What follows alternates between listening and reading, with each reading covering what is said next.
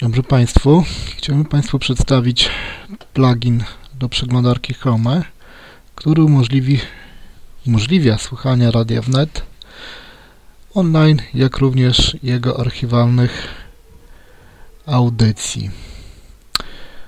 Tak wygląda strona radia wnet. Proszę. Kto nie zna, może wejść, zobaczyć, zacząć słuchać serdecznie polecam. I przede wszystkim tak, dlaczego powstał plugin? Ponieważ w funkcjonalności strony brakowało mi paru rzeczy i jak to może człowiek sobie życie ulepszyć, to powinien to robić. Więc po kolei. Przeszkadzało mi to, że pracując z przeglądarką mam otwartych wiele zakładek kart i jeżeli zamykamy je przez przypadek, zamykałem również radio wnet, jak i audycji, której słuchałem. Można pomyśleć, że tak, wchodzimy poranek, standardowy program Radio Wnet. Można słuchać go właśnie w częściach na stronie. O tak. Tylko teraz, jeżeli zamykamy kartę, nie wiemy, gdzie byliśmy. I oczywiście przez przypadek, jak zamykamy kartę. Później ciężko wrócić do pozycji, gdzie słuchaliśmy, do audycji, której słuchaliśmy. Dlatego też, będąc programistą, pomyślałem, że raz nauczę się pisać rozszerzenia do przeglądarki Chrome, dwa napiszę coś, co będzie funkcjonowało tak, jak mi się to podoba. I powstał plugin za namową również kolegi, który pisał taki plugin dla przeglądarki Firefox. Dobrze, to tyle tytułem wstępu. Teraz jak możemy, jak należy zainstalować plugin. Plugin jest dostępny gdy wejdziemy na stronę, pod stronę jak nas słuchać i mamy do wyboru wiele możliwości słuchania radio wnet i jedno z nich jest link do rozszerzenia. Rozszerzenie jest dostępne na oficjalnej stronie sklepu Google'a. Jest bezpłatny i dodajemy sobie. Tu będzie przycisk jest dodany, więc sobie każdy będzie miał to inne, co innego i dodajemy do przeglądarki. Gdy dodamy już taki plugin, pojawi nam się tutaj ikonka o, ja mam dwie, ponieważ jeden jest właśnie testowy do pokazania, e, do pokazania jak plugin funkcjonuje. Jak zainstalujemy, zobaczymy taki interfejs. Co tu mamy? Mamy pulpit do sterowania, przyciski. Tutaj też jest również przycisk. Tu mamy wejście na stronę Radia Wnet. Możemy sobie spokojnie przejść. E, tu mamy informacje na tej części panelu, co jest aktualnie na w radiu i żeby uruchomić online Wystarczy kliknąć przycisk play. I w tym momencie słuchamy Radia Wnet. Tutaj mamy informację, o której godzinie będzie następna audycja. Tutaj mamy w tym momencie już informację o podka autorze,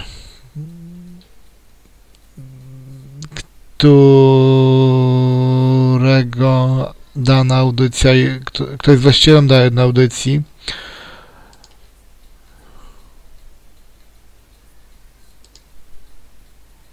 możemy zastopować, zatrzymać, ustawić głośność. I co robimy dalej? Dalej możemy sobie słuchać poranka. OK. możemy sobie przywijać, zastopować. I o co chodzi? Zaletą jest tego, że zapamiętywane jest dla każdego użytkownika lokalnie e, miejsce, w którym audycji słuchaliśmy, tak? Czyli sobie słuchamy, podoba nam się, chcemy coś innego posłuchać, przechodzimy sobie i widzimy kolejny poranek. Możemy wrócić sobie do poprzedniego i automatycznie jesteśmy ustawieni w miejscu, gdzie zakończyliśmy słuchanie poranka. Jeżeli chcemy zobaczyć informacje o danym eterze, klikamy i przechodzimy na stronę Radia Wnet, gdzie są po prostu jak gdyby kolejne audycje. To samo robi się wtedy, gdy klikamy na przycisk więcej. Natomiast jeżeli klikniemy ta ikonka sprawia nam, że słuchamy, natomiast ta przechodzi do konkretnej podstrony konkretnej podstrony danego poranka i tak samo będzie się to tyczyło innych audycji. Ok, to jest jak gdyby pierwszy krok po zainstalowaniu. Dalej, ponieważ w Radiu Wnet każdy może założyć konto, nagrywać swoje audycje, wrzucać, pisać blogi i tak to mamy przycisk All, wszystkie audycje. Wszystkie audycje, wszystkich autorów, których tutaj są zarejestrowani na stronie Radia Wnet. Mamy radioaktywni, nie wiem, to są, jest to sortowane według ostatniej dodanej aktywności, tak? Radio Wnet, Marcin Wolski. Możemy sobie kliknąć i posłuchać. To, co ostatnio wrzucił na Radio Wnet na stronę pan Marcin Wolski. I tak jak tutaj klikamy, widzimy poszczególne etery. A gdy klikniemy sobie na konkretnie, tutaj przejdziemy do konkretnej informacji o konkretnej audycji. Możemy sobie ją zatrzymać, możemy nawet nie zatrzymując, tak, przechodzimy do przechodzimy na przykład do i słuchamy sobie tego, tak. W każdej chwili możemy sobie wrócić, klikając jeszcze raz tę audycję i automatycznie będziemy kontynuować. Tego mi akurat brakowało wtedy, gdy przeglądarkę zamykałem, wyłączałem komputer, nie wiedziałem, gdzie skończyłem, nie wiedziałem, co ostatnio słuchałem i w tym momencie ten, to rozszerzenie rozwiązało ten problem. Dalej mamy historię tego, czego słuchaliśmy. I tutaj mamy wyświetlone Marcin Wolski. Od razu przechodzimy do, do słuchania. Też, też, tak. I automatycznie w miejscu, gdzie przerwaliśmy. I tak funkcjonują przy, tak jak gdyby zakładki sub, all i hist. Sub to jest skrót od subskrypcje i teraz tak, żeby tutaj mieć na liście coś więcej niż tylko poranki, wchodzimy do opcji, ewentualnie etery. Wchodzimy do etery, to widzimy wszystko posortowane według ostatnich 7 dni, których coś ktoś dodał. Jeżeli chcemy słuchać i, i w tym momencie robimy sobie tak, dodajemy plusikiem, i tutaj mamy na liście o, wyłączę, bo mi tutaj się mówi, ok. I tu mamy na liście dodatkowy, dodatkowego autora i on pojawia się automatycznie tutaj. Jego już nie będzie tutaj, będzie tutaj. Proszę. I tak samo, jeżeli autor jest dawno coś publikował, to w tym momencie wpisujemy z palca i sobie dodajemy i mamy go tutaj. Możemy przejść, zobaczyć datę. Jeżeli chcemy więcej, to wtedy klikamy więcej. Co my tu jeszcze mamy? To były etery, tu mamy strumień, czyli jakość słuchania audycji. I wybieram online, tak, bo jeżeli chodzi o e, te, które są te archiwalne, to mamy już gotowe MP3 i tam nie wybieramy jakości.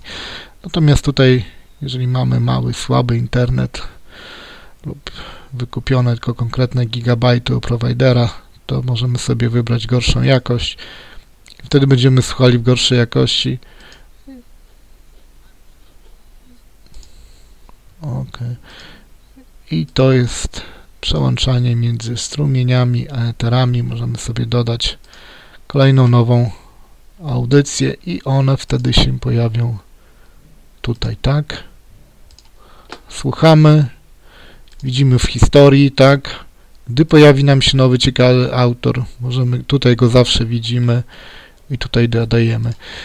I tak to wygląda. Muzyka, czyli teraz co jest aktualnie w Radiu Wnet online. Pauzujemy, słuchamy. Aha, zapamiętowano już również ostatni poziom suwaka głosności, e, wysokości dźwięku.